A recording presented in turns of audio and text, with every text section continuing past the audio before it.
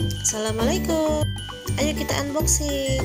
Gak sabar deh mau buka ini. Kiriman dari Bapak Kurir. Aduh aduh aduh aduh. Tebak-tebak kira-kira apa ya Yang bikin mama di rumah sana Pada kegirangan?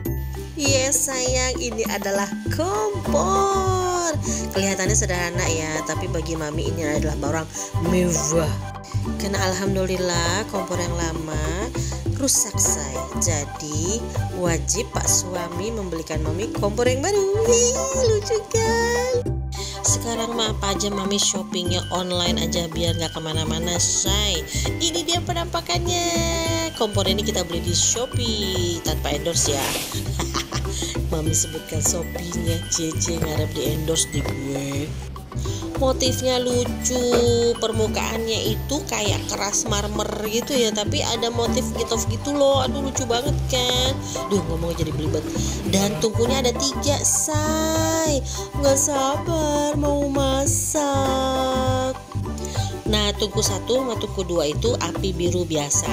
Tapi di sebelah sisi kanannya nih, tungkunya itu kayak bara gitu, say. Jadi masaknya katanya sih lebih cepat. Ini dia tungku baranya.